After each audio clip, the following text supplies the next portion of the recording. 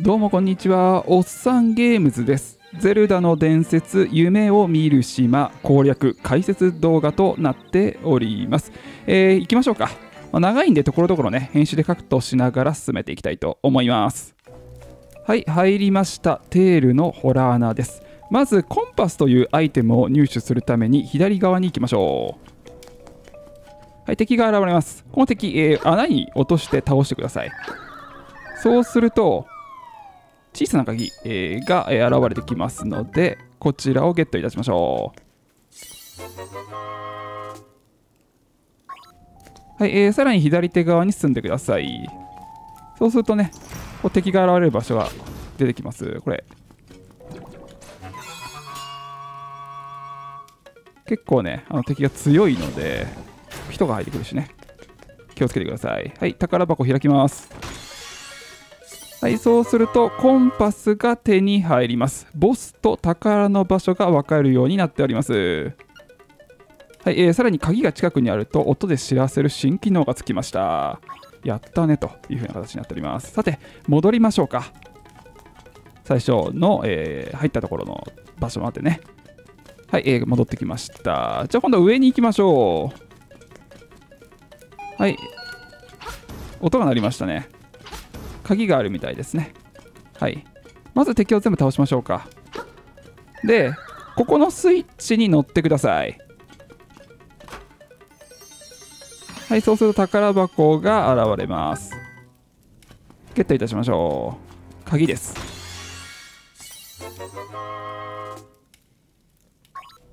はい、えー、続いて右側に行ってください。えー、マップがここでは手に入ります。できればねこれね右から左に行くように倒していった方がいいですね。この骸骨を落とせたりするので。こんな風にね。全部倒すと宝箱が現れます。でこちら開けるとはいマップとなっております。でマップとコンパスがあるとですねこんな風に、えー、洞窟の、えー、まあ、地図、えー、まさにマップと、え宝箱の位置が分かるようになります。で今回この宝箱以外はゲットしたいと思います。こちらね、ちょっとあの先に進めないと、爆弾というアイテムがないと、えー、この宝箱をゲットできないので、今回はちょっと、えー、まあ、ゲットはしないでおきます。では雪像のくちばしというアイテムを次に取りに行きたいと思います、えー、そのアイテムはここにありますでは行きます。まずまっすぐ上に行ってですね、はい、邪魔なんでこいつは倒しましょうか。で右側に行ってください。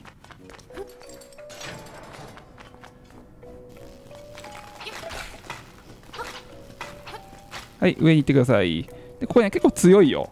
強いっていうかあのこれダイヤスペードハート、えー、クラブのあの文字というか、えー、マークがこう3つの敵ね、えー、こう切り替わってるじゃないですか3つの敵で。で全部の敵で、まあ、1回攻撃するとこんな風にね、えー、1つ負け止まっちゃうんですよ。これを3と3個の敵で全部同じマークにしてやる必要があります。これ結構難しい。こ OK おあと1個あと1個あと1個。よく狙って。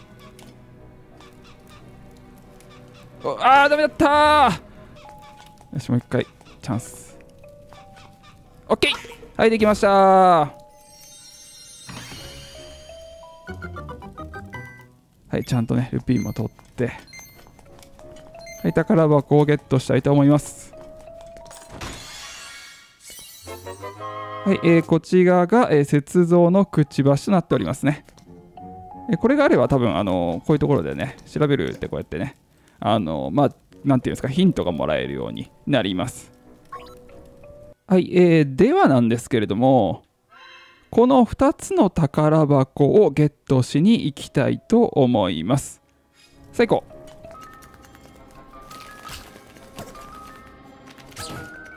であそこにもすでに見えてますね。ほほほほほほ。ちょっとね結構難しいね。ね、こういうね、敵はまず倒しておくまで倒せる分だけね。で、えー、1個ゲット。はい、えー、中身は小さな鍵です。助かったハートがはい、えー、さらになんですけれどももう一匹敵を倒せばはい宝箱が、えー、現れますゲットしましょうか。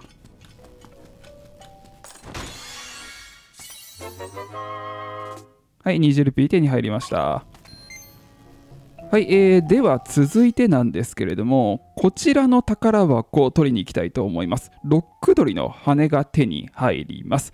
で、えー、冒頭にも申し上げたんですけどこの宝箱は、えー、現段階では最初にテールのホラー穴に入った時では、えー、この宝箱はゲットできません。さあ行きましょうか。えちなみにですねあのこの下側こっち側に行ってもあんまりいいことないので行かない方がいいと思いますよ。さあ行きましょうか。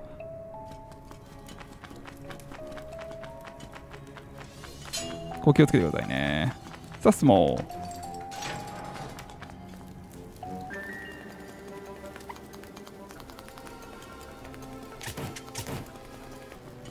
はい、えー、ここまで来るとですね、まあ、ここにフクロウがね、ヒントくれるんですよ。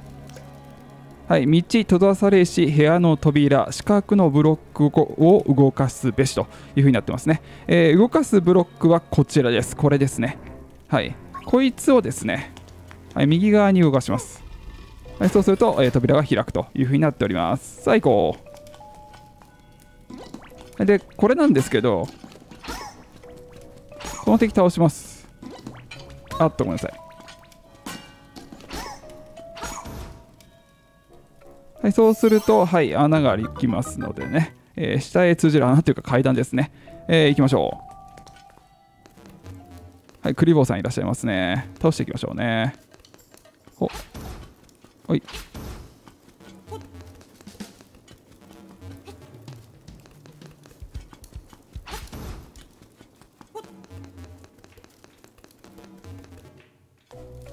はい、そうするとね、この場所に来れます。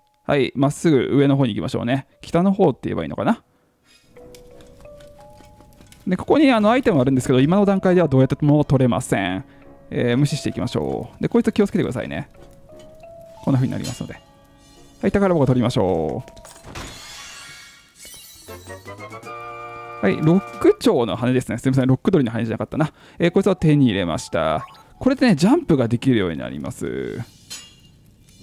で、どうやるかというとですね、この状態でどうやっても取れなかったアイテムをですね、例えば、はい、ここで、えー、Y ボタンにこのロック蝶の羽をセットします。そうすると、ジャンプで取れるようになると。いうふうな形になっておりますはいこれねいいですよこうやって今までねジャンプできなかったところはジャンプできるようになりますんでね非常にいい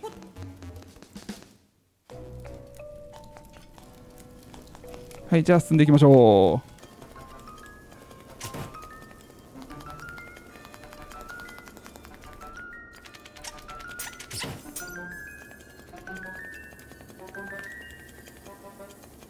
はい続いてあの宝箱を取りに行きます。取り方はここまで来てください。ここまでね。えー、ここです。ここまで来てください。行きます。でこれでねやっとこうロック調の羽のね意味が出てきますねここでジャンプができるようになりますでここで、えー、開けるとはい開きますと宝箱がゲットできるようになりますはい、えー、ボスの鍵を手に入れました。これでボスと戦えるという風な状態になりますね。はい、えー、これで、えー、この宝箱以外の宝箱をゲットいたしました。さあ、あとはボス攻略だぜ。行こう。ふん。これね、6丁の羽持っててもこうジャンプできないんでね。あの、えー、希望がね、あのなくなっちゃいましたね、僕的には。できると思ったんですけどね。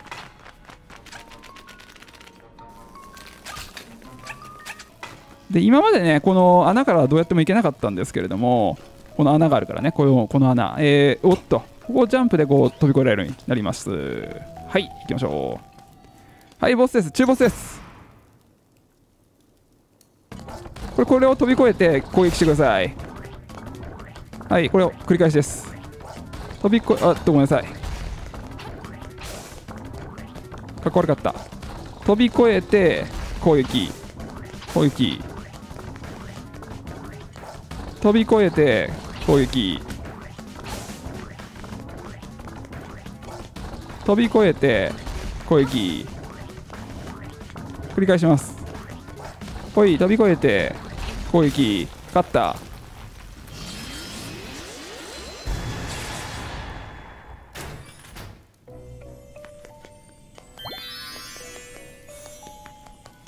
はいじゃあ進んでいきます。おっとおっとっとっとっと怖え怖え。でですねなんかしないですけどこの下の方に行くとですねれハートゲットできるようになってますんでね、えー、攻撃受けた時はね、あのー、こちら側のね、えー、地下の方に行ってみるといいと思います。地下というか下の方にね。さあボス倒しに行きましょうか。あのよくわからないけれどハートあるとか言ったんですけど多分はねあの穴があるんですよこのボス戦の場所って。その穴から落ちるとさっきのハートのところ行くんでしょうね。はい、えー、ボス戦です。はいボステグテールです、えー、先に言っておきます、えー、倒し方、えー、はこの尻尾のこいつを攻撃。で長い間こういうねひび割れた箇所にはいないでくださいね。落ちますから。端っこのひび割れたところには行かない。で、え、ここで攻撃。こいこいこい。うーふー。い、次に、おっとっとっとっと、こい、くおど、ど、おお攻撃もうちょっと、引きつけて。オッケー、倒したクリアです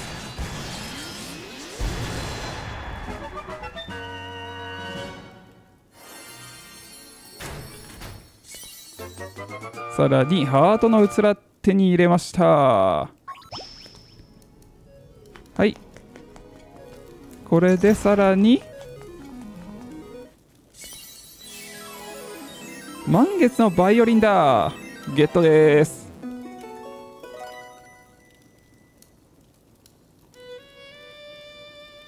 これは8つだったかな？集めると。多分クリアできるんでしょうね。いやあんまり実はあの先のことを調べてなくてですね。ごめんなさい。